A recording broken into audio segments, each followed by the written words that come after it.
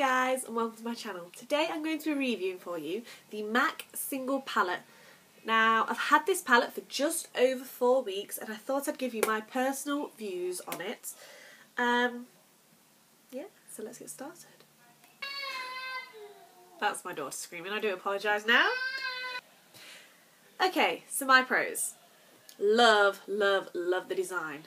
I absolutely love it. I think it's fantastic. I love the fact you don't need the inserts. You can just place your eyeshadows wherever you want them inside, move them around, snap it shut and you're done.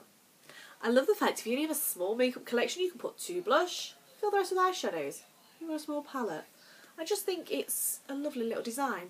You can now get four inserts for these. You can get the eyeshadow insert, the blush insert, just the same as the old palettes. But you can now get some well palettes. You can get a 12 or a 24. I do have the 24, I will show you what I've done in another video with that, but for now, I'm just talking about this palette. I also love the fact that if you only have a small collection, you can put two blushes and fill the rest with eyeshadows and just have one little palette. My cons. I only have two cons. The first con is you have to buy the insert separate. If you'd like the 15 eyeshadow palette, you're looking, including the cost of both, you're looking at £20.50 just for an eyeshadow palette. I do think that's tad expensive just for an eyeshadow palette. Also, the very last con. I don't know if you see this on the camera, I'm going to try my very, very best. This is just... Oh, let me see if I can get the light better. It's covered in scratches. It's absolutely covered in scratches.